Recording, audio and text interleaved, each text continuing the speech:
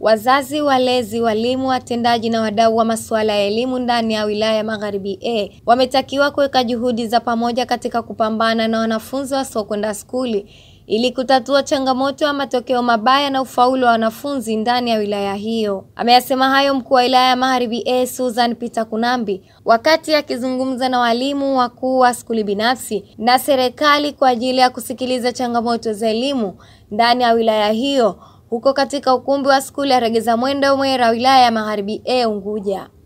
Mtoto karudi saa ingine anataka kufanya hata homework, anataka kufanya revision, yeye mzazi yupo, kafanya hiki kafanya kile, sio lazima. Sasa tukiwa na mashirikiano na wazazi, na hivyo ndio maana tunaitana kwenye vikao, maana tuwapangie na muda hawa watoto wawe na muda pia.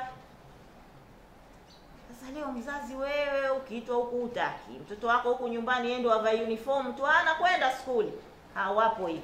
Lakini huyo anaitengenezwa, maana tunaweza kutengeneza walimu tunaweza kutengeneza kila kitu, na ndio huko tunakokwenda. Huyu tunayemfanyia hivyo, huyu kama yeye mwenyewe na familia yake kule hajawa vizuri, hatuwezi kuwa na mtoto ambaye tunamtarajia. Amesema ili kuhakikisha kufanikisha kuinua ufaulu wa wanafunzi, juhudi kubwa zinatakiwa kufanywa na kuhakikisha wanatambua idadi kamili ya wanafunzi watoro ili kukutana na wazazi wao kufahamu sababu zinazowafanya wanafunzi kutohudhuria mashule sambamba na kuwachukulia hatua za kisheria wazazi wanaokaidi wito wa serikali.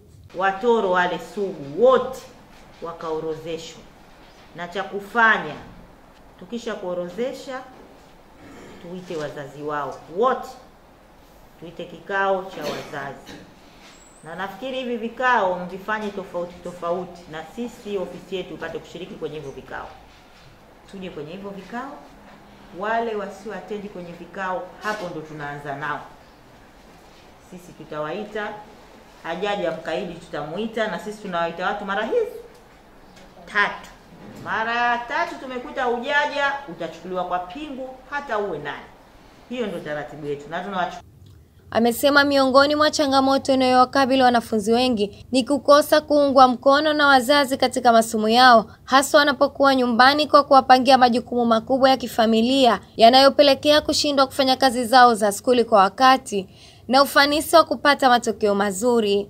Aidha, mkuu huyo amewataka walimu hao kutengeneza utaratibu wa matumizi ya maabara za sayansi zilizojengwa ndani ya wilaya hiyo ili kuwawezesha wanafunzi kufanya vizuri katika masomo ya sayansi na kuahidi walimu wao kuzibeba changamoto kwa ajili ya kuzitatua. Kuna maktaba japo ina uchache wa vitabu, yaani tunaenda mbio, tuhakikishe library yetu inakuwa na vitabu vya kutosha, lakini vipo hivyo hivyo vichache, vipo. Tengeneze utaratibu wa wanafunzi kuja kujisomea vitabu, lakini tutengeneze utaratibu wa wanafunzi kutumia maabara ya science ili kuwawezesha wanafunzi wetu kufanya vizuri masomo ya science. Tunalia kila siku, na moja ya sababu ni kwa sababu wanafunzi wanashindwa kupata sehemu za kufanyia practical. Hapa habu ndo zipo, hatuwezi kutoa vifaa pale sisi tukapeleka kwenye shule.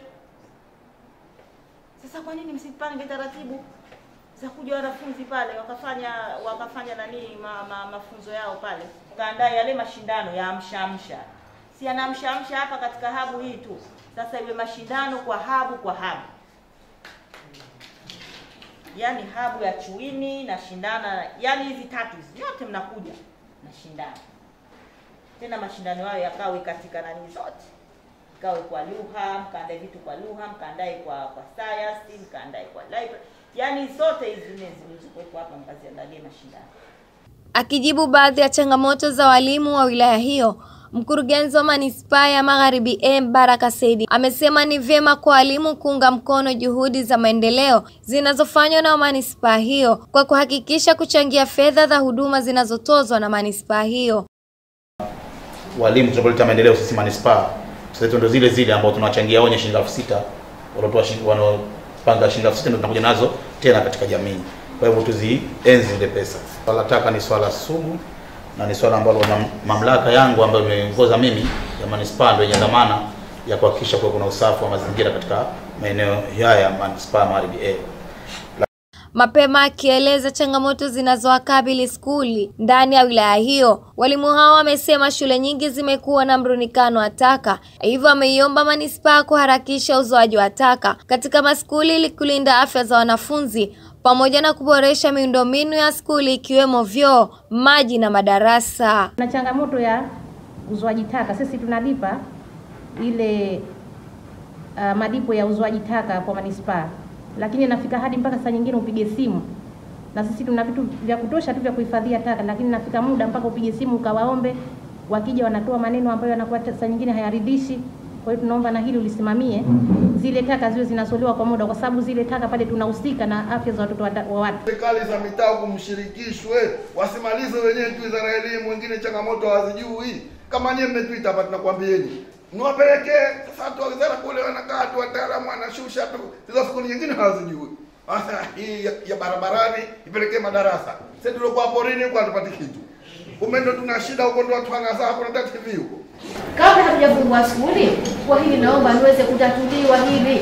Mashine ninayo ya kuashia sijui ya kupandishia maji nishanunua, kwa naomba hapa palipobakia nisaidiwe, ili watoto wangu nao tuweze kupata maji bila ya kugombana, kwa sababu skuli pacha zinakuwa zina changamoto zake na nyewe. Langoni sekondari haina walezi. 2017 kulibiwa 2017 tukenda Mwera, halikadhalika mpaka kesi imemalizika, laptop na vitu vingine. Wale walinzi wanatusaidia tukushusha bendera na kupandisha, lakini kama walinzi ambao wanashughulika swala lile kwa Langoni sekondari hatuna. So kama mkuu wa wilaya bosi wetu, tunakuomba inshallah tupatiwe mlinzi. Wenzetu waliomba mlinzi wa mchana, lakini tunataka wa usiku na mchana ikiwezekana. Ripoti kutoka wilaya ya Magharibi A mkoa wa mjini Unguja. Hamida Mohamed, Riyadh TV.